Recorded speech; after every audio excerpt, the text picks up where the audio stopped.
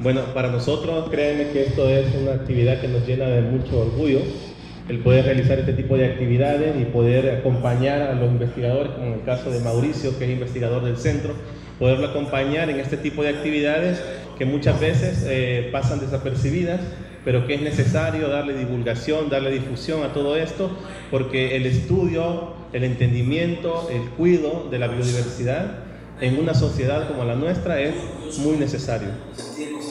Del centro para Santiago. Cuando nosotros hablamos de diversidad biológica, lo hablamos en una magnitud bastante grande que se traduce a cuatro niveles, desde el más ínfimo al más grande.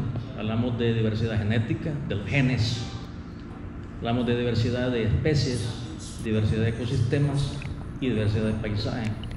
Todo está íntimamente relacionado y el humano, como Homo sapiens, como Homo sapiens que somos, porque es el, genéricamente hablando, así es, somos parte de esa diversidad.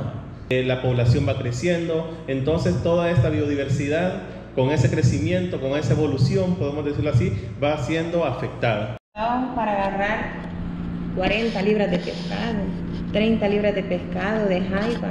Mi papá llegaba contento y le decía, vea, este, hay que ir a venderlo.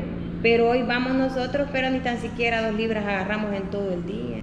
De la última ficha que, que se hizo como país, que es una ficha que está un poco desfasadita, ya tiene que unos 8 o 10 años de haberse elaborado, a esa fecha registraba 508 especies, ¿verdad? entre especies de invertebrados, fauna vertebrada y vegetación.